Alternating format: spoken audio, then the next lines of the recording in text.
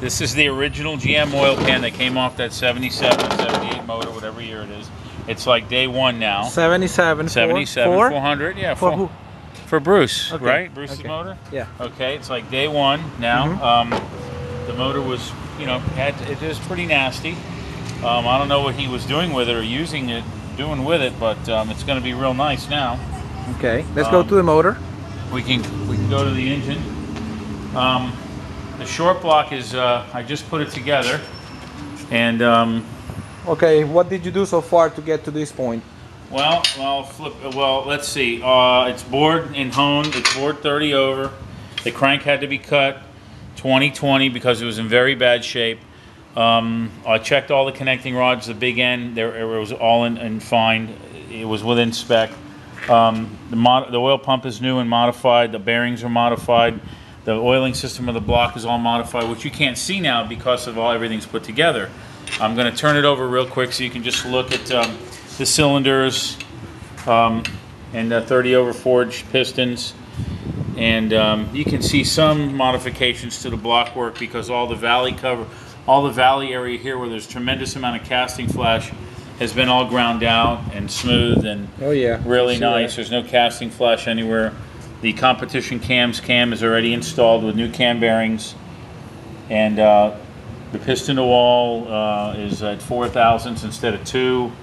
Um, it's a uh, it's going to be a nice piece. It's going to make good power. Uh, the cylinder heads are right here. That I just got them back from the machine shop, disassembled and completely glass beaded and cleaned. Um, let me move some stuff out of the way so you can see them. They're uh, I a little bit of a mess, but the cylinder heads are are uh, stock 6X-4s, which are going to be completely ported and polished, and all the casting flash removed, and the oil galleys deburred, and all the guides are going to be cut down for seals because there's no seals from the factory.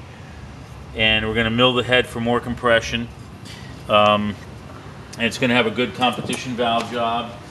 And we use uh, we use uh, Ferrea stainless steel Ferrea valves, uh, custom Ferrea valves, really nice pieces that I had made are going to go in these heads, and uh, it's going to be. It's going to be well. That's because it got peened here because of the. It's got shot peened because of the. Uh, when they clean the head, it rolls over the outside, so it doesn't want to fit. But anyway, that's just got to be relieved. Compared to the factory valves, which I still have in the bag. If you'd like to see what was in here, see the see the this is what was in here garbage two-piece garbage valve and this is what's going in a nice stainless one piece that's turned down very light very very good nice piece real nice valve these were the valves that were in the motor everything a ball of rust everything just just garbage Okay, where else?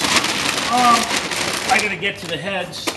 Probably starting them tomorrow, which is a very, very, very long process. It takes about two weeks to do the cylinder heads because the porting and the polishing and the uh, filling of the heat crossover with aluminum With all your tools and all here. that stuff. Yeah, this is just a mess. The table grinding material and all that, everything's just uh, sort of a mess right now. But you know, it's, that's how that's how we work. you know, there's a, a customer's race motor there that's um, that you guys are going to be installing, hopefully, in the uh, guy's car real soon. Uh, Trans Am. Right, right, right.